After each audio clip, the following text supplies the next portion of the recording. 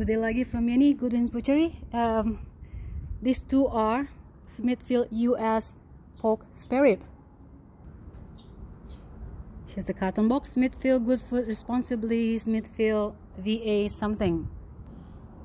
Well, the put on label says, yeah, pork spare rib product of USA. Hey, what's this? This is old stuff, you know. This is all old supplier that just they don't know. We change our name, our brand name. Okay, um, what else? Yeah, pelabuhan masuk and stuff.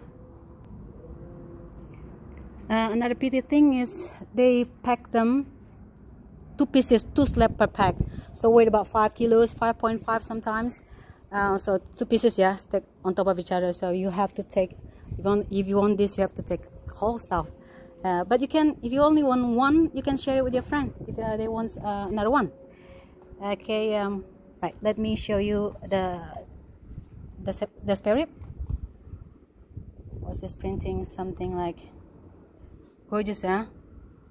Again, U.S. product, meat product, pork, beef. I'm telling you, not racist. I'm not into you know.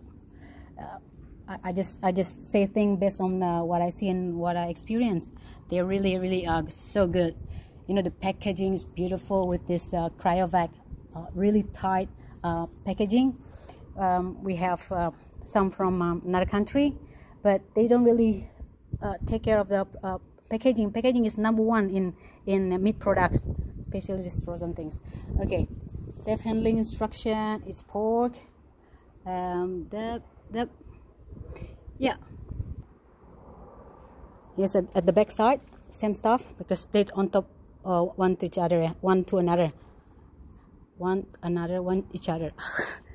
English difficult huh okay i think i don't want to get uh, bored of you but i think you are, you still want to uh, continue watch this because if you want to buy it you want to know what it is. Yeah. Uh, ribs yeah how many? Two what normally but uh, 12 13 uh, ribs? Can't really count it. But i mean the length is about 18 inches something like that.